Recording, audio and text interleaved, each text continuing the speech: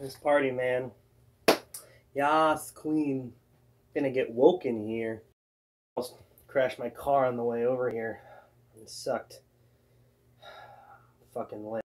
Son, um, it was that cash money or not? I was saying the situation. Oh my god, got my notes right here.